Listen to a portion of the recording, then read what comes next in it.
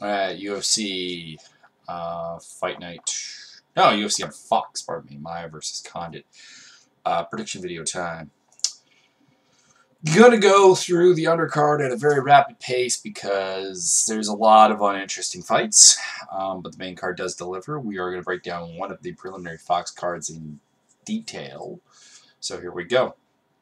Alex Ricci versus Jeremy Kennedy, taking Jeremy Kennedy to win. He's an interesting prospect. Ricci's kind of a played out fighter who's in his mid 30s making it to the UFC. He is the bigger fighter, so maybe that comes into play, but tough call. Kennedy, probably more of a featherweight than a lightweight.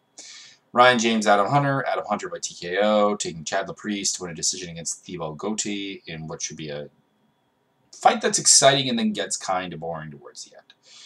Shane Campbell versus Felipe Silva, taking Shane Campbell to win a decision there, taking Alessio Di Chirno, Chirico, pardon me, over Garreth McLellan by decision, and taking Kyle Bochniak over Enrique Barzola by decision somewhat interesting fight. Sam Alvey, versus Kevin Casey in like the definitive middleweight fight of middleweightness. Um, Alvey is a counterpuncher to a fault in the sense that he doesn't really have a way of forcing you to to do anything, and it can lead to boring fights. And if you're not just aggressive, um, he tends to struggle with your lack of activity. You need to give him something to counter.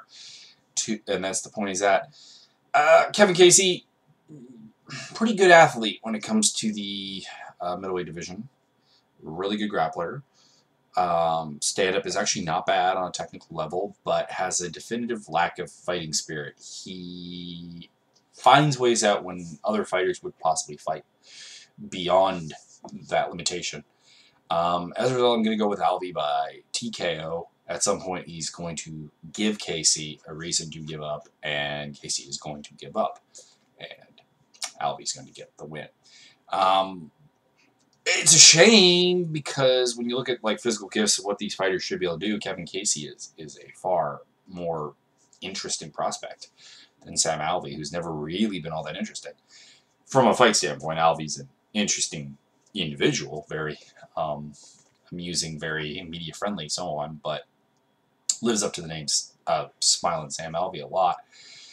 But uh, just not a particularly athletic fighter and not a particularly technically gifted fighter either. So, in a way, kind of disappointing. Main card, Jim Miller, Joe Lauzon in a rematch of a fight that happened some time ago with Jim Miller taking the victory. I want to pick Miller, but the way he has looked lately is a very depleted man who probably is going to get TKO'd by Joe Lauzon. He looks gun shy, like he doesn't want to pull the trigger. He doesn't look like he can take the fight, uh, take the trigger. And his once really, really, really solid cardio is gone. Um, that's the main reason why one would pick uh, Jim Miller over Joe Lauzon because Lauzon, not that Lauzon's had bad cardio, but Lauzon, the way he fights, which is very, very high output at the very beginning, it kind of it beats you or he gasses through it. Like, I don't think there's a fighter who has a higher finish to decision ratio, honestly, in UFC history than Joe Lauzon with the number of times he's been he, he's been finished or has finished someone. Um, he's only got one decision win, and that's over Mac Danzig. So that probably tells you all you need to know about that topic. Um, I'm going with Lauzon to win a TKO. Um, I wouldn't be surprised if Miller gets it done here by decision or by submission even. He's, he's a fantastic grappler. He's a, a good kickboxer, a, a pretty underrated wrestler. If he's got his cardio and he looks confident, this is a fight he I would normally pick him in, but he just hasn't looked that way in a number of fights now.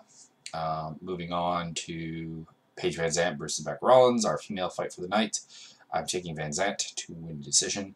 Bec Rawlings is a fighter with okay athletic ability, good physical durability, um, a kind of cornucopia of skills that she doesn't really have a way of putting into like a full-on game plan. Um,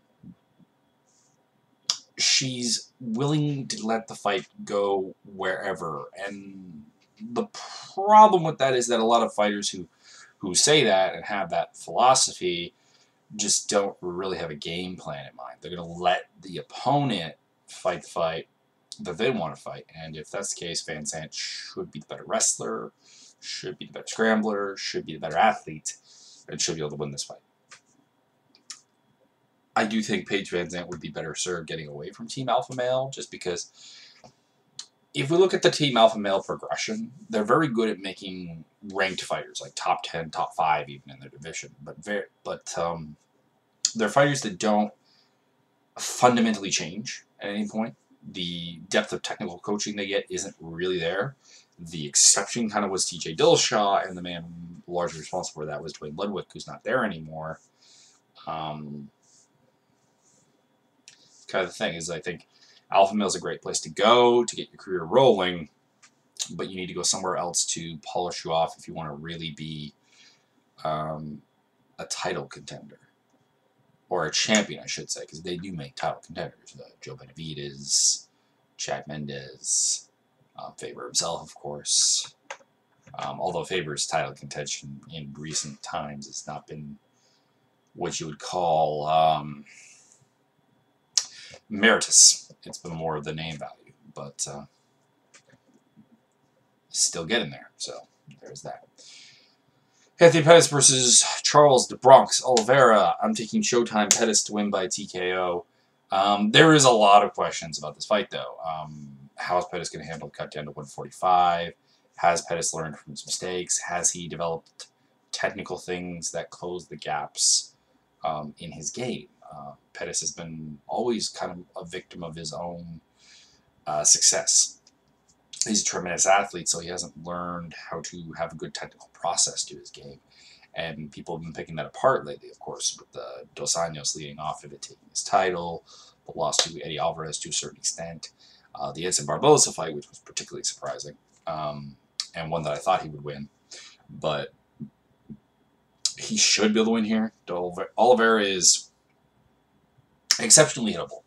Um, he really does walk into your offense, and if you do that against Anthony Pettis, you should get finished at some point.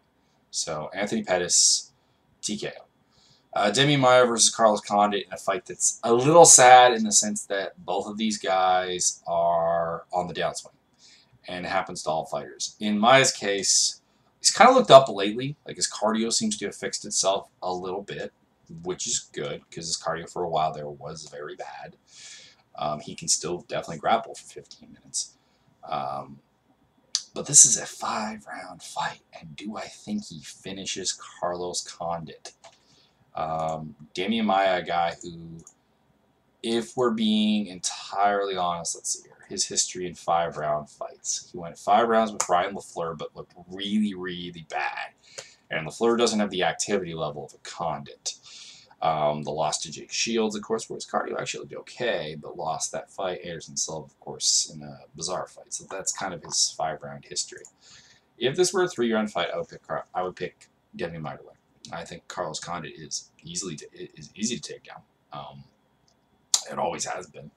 Um, his wrestling is not solid uh, defensively, but what he does is he he does make you work. He is a decent enough grappler to not get auto subbed by Maia.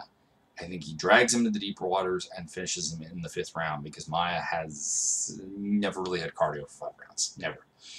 And if Condit can survive, and don't get me wrong, there's a good chance that he can't, but if he can survive the first three rounds and not get subbed, he should be able to finish Maia later on because Maia is a very hittable.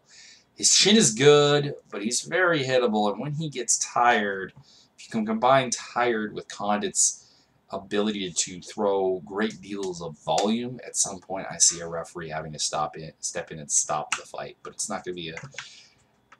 I'm basically what I'm saying is a win for Condit, but not one where he looks impressive in, and that's unfortunate because he's he's really in need of that. I mean, when you consider that, in my opinion, this guy should be champion because he should have beaten Robbie Lawler. His only other impressive uh, outings recently is Thiago Alves, who not really anything, and then the win over Martin Kampmann, I guess, is impressive, but it was kind of Kampmann's retirement bout.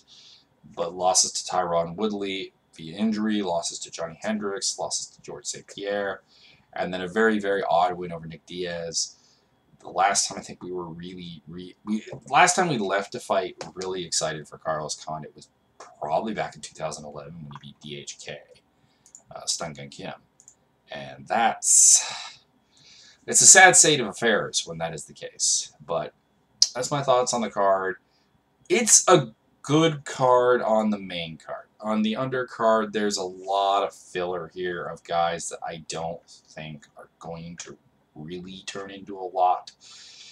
We kind of know what Chad Laprise is. We kind of know what Shane Campbell is. We know what Sam Alvey and Kevin Casey are. Maybe there's something to Barzola or Bochniak or Chirico or um, Adam Hunter, I guess. Jeremy Kennedy is like kind of my hope of a prospect to come out of this, but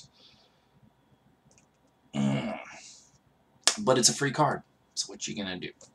So enjoy that. There's also Bellator, Benson Henderson versus uh, Pitbull, uh, Patricio um, this week. So that's also a good fight. So not a bad week for MMA from all stance. So enjoy and. Uh, Oh, that's it.